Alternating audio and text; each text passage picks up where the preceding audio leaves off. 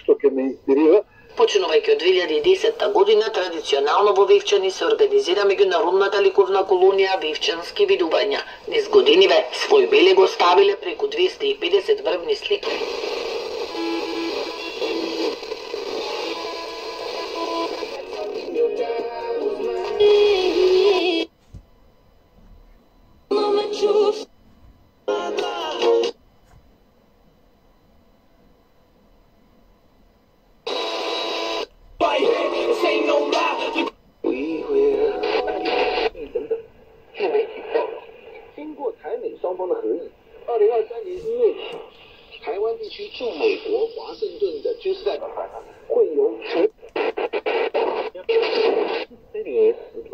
I heard, is in Hangzhou, where it has to do with, under a certain decibel of volume. It has to be within certain.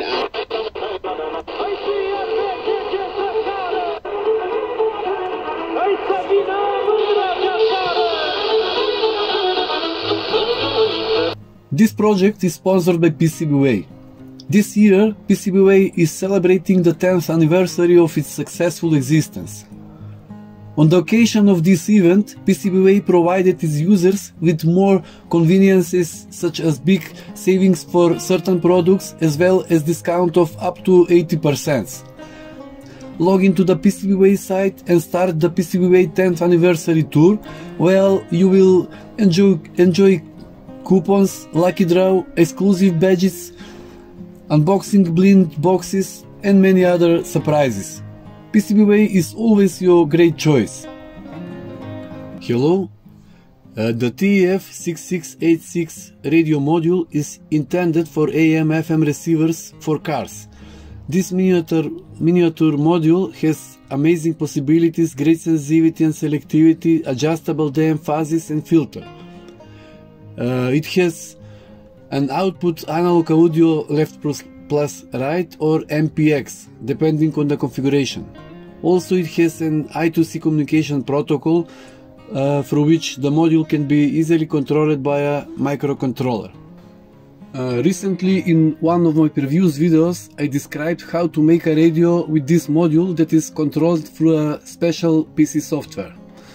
This time I will present you a way to make a portable DSP radio with a beautiful TFT color display uh, that is controlled by an ESP32 microcontroller.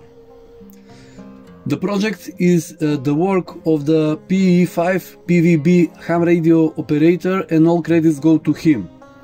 On his website you can find detailed construction information as well as a schematic di diagram and source codes.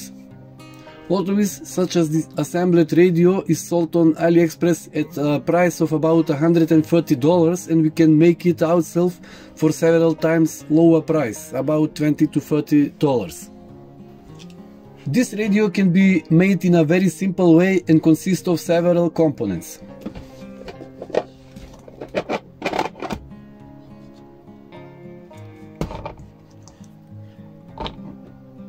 ESP32 dev module microcontroller, TEF6686 AM FM radio module, ILI9341 TFT color display with 320 on 240 dots resolution, three buttons, rotary encoder, potentiometer, Next, small D-class amplifier module, speaker, and a small analog instrument to indicate signal straight. Uh, the code can be installed on the microcontroller in two ways. Uh, first, you can download already compiled software and upload it using prepared script from release page and second you can download source code from release page and then compile and upload it using for example uh, Arduino IDE.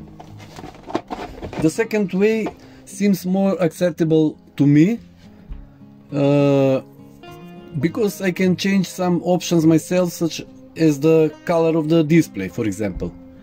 After the installation of the code, small adjustments are made during the first power up using the four buttons. If during boot the radio we hold certain button, the result is as follow. Standby button to calibrate the analog S meter, uh, bandwidth button to change ro uh, rotary encoder direction, mode button to flip the screen, and uh, rotary button to switch between normal and optical rotary encoder. And now let's see how the radio works in real conditions. The main screen appears immediately after the logo. On it we can see all the information and the frequency is marked uh, in the middle with big yellow numbers. Here is the reception uh, information such, such as RDS, stereo reception, bandwidth, mute, manual or automatic dialing as well as reception signal strength in the form of a bar or numerical value. Turning the encoder changes the frequency. The green arrow shows us which digit are changing, that is the dialing step.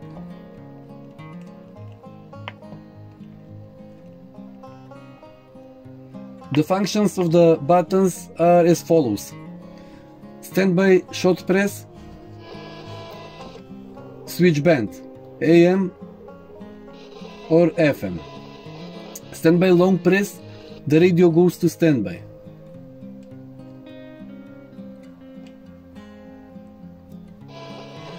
Uh, bandwidth short press, switch bandwidth settings.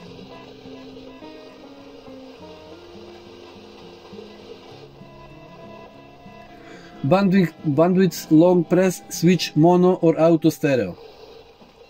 Now it's auto stereo and mono reception. Mode short press, switch between auto manual tuning or exit menu. Uh, mode long press, we enter in new menu.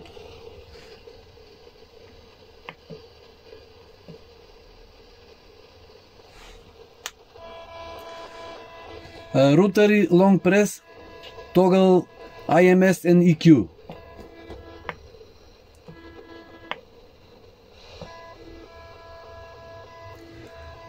Uh, rotary short press, set step size or navigate. This is the squel, the squel, the squelch function potentiometer.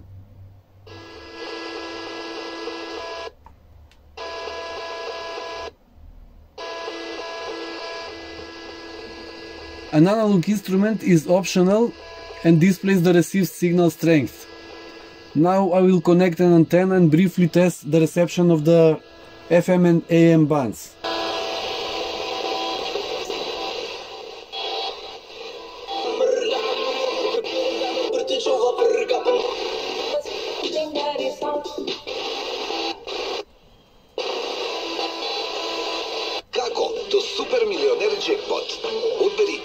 Philip.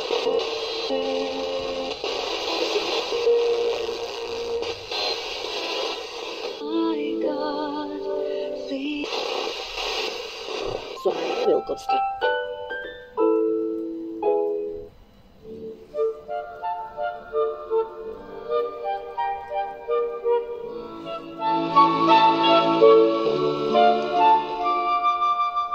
Folk Pastel.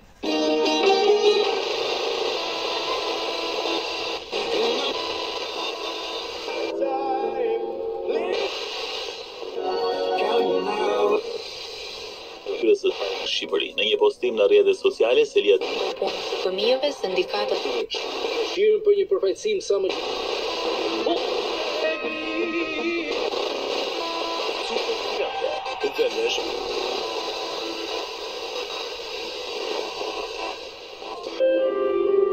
Tri profit.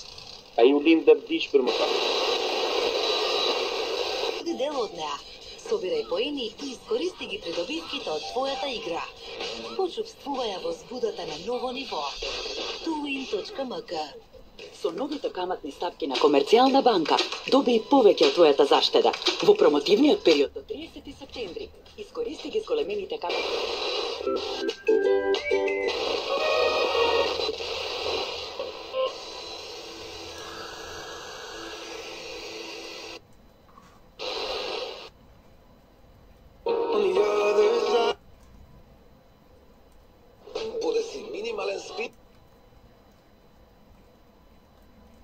thirje që ta visni atë. Nga prangat.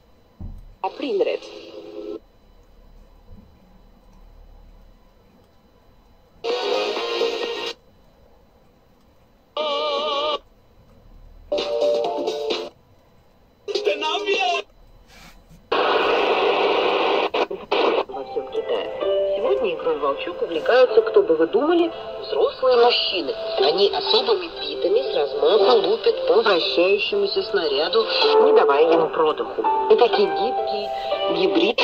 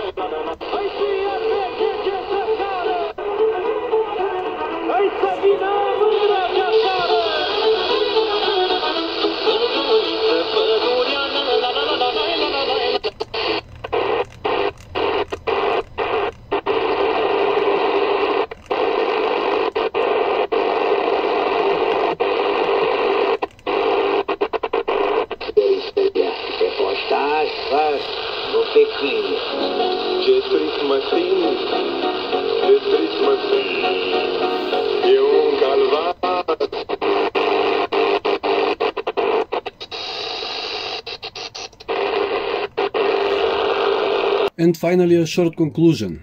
First of all, let me mention that for the FM band, I used a 137 MHz V-dipole antenna for weather satellites reception, as the closest option since I don't own an antenna for FM.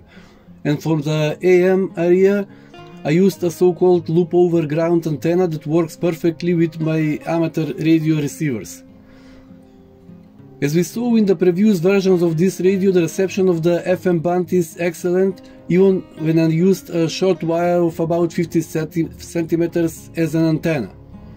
After all, the purpose of the TEF6686 tuner module is for the car radio, where we usually listen FM radio stations. The sensitivity of distance radio stations is also surprisingly good. As for the AM band, the reception of the middle wave as well as shortwave station is quite solid, with some note about the selectivity in the shortwave area. This is definitely an interesting quality receiver if we consider that a minimum number of components are required for its production. Let me mention that on the author's page there is also a newer version 2 with a larger screen and more options such as spectrum monitor, Wi-Fi connectivity for XDR GTK, Bluetooth radio and touchscreen, but this version is more complex than version 1. The radio is mounted in a suitable box made of a PVC board with a thickness of 3 and 5 mm and then covered with self-adhesive colored wallpaper.